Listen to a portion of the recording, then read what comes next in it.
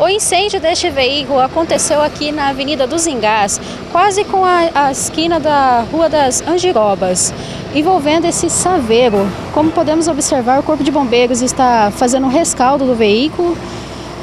Pra, praticamente todo ele foi danificado pelos, pelo fogo.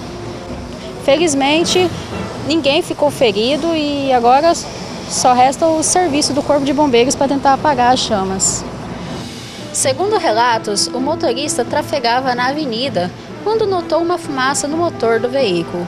Ele imediatamente parou e tentou abrir o capô que estava preso através de uma gambiarra com arame. Sem êxito, as chamas ganharam força. O corpo de bombeiros chegou em torno de 10 minutos depois e controlou o fogo. O veículo que pegou fogo se trata dessa Saveiro de cor verde com placas de Lucas do Rio Verde, HRF 7582. Na verdade, estou dirigindo ele, ele é da firma, né? Como que aconteceu? Como que foi o início? Eu virei aqui no. Tá descendo da Embaúba, virei e já senti a fumaça ali. Daí eu peguei, encostei, fui olhar, já estava em chama já. Possivelmente uma pane elétrica. É, pode ser pane elétrica. Com certeza foi pane elétrica. O senhor se feriu? Ou... Não. Vi a fumaça, eu fui tentar abrir o capô para mim. O menino até parou lá para pegar o extintor para ajudar, mas já estava em chama. Ele falou: não, não, não mexe, não mexe, deixa quieto. Então foi rapidamente, pegou é, fogo. Rápido, que já estava em chama, né? Não sei se foi um pano elétrico, deve ser, porque não tem outra explicação. Agora só fica o prejuízo material. É, agora só esperar para ver o que vai dar, né? Porque ali não recupera mais nada, ali já perdeu tudo. A gente recebeu a solicitação via 93, né, que um veículo estava tomado pelas chamas na Avenida dos Engás. Fizemos deslocamento rapidamente, identificamos o veículo já de longe, né?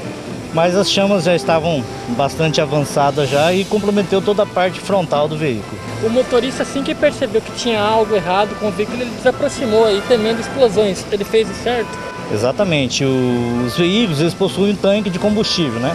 A explosão é um pouco difícil até, mas pode aumentar muito grande a quantidade de chamas e provocar lesões das pessoas. As chamas tomaram conta rápido do veículo, né, senhor? Exatamente. Às vezes o veículo está em uso, o motor está quente, às vezes uma mangueira de combustível se rompe e a propagação das chamas é muito rápida.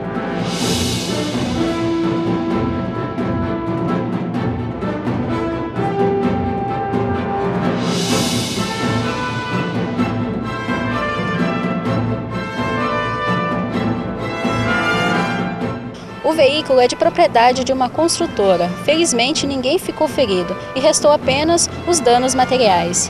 As imagens são de Francisco Herbert, Franciele Vieira para o Sinop agora.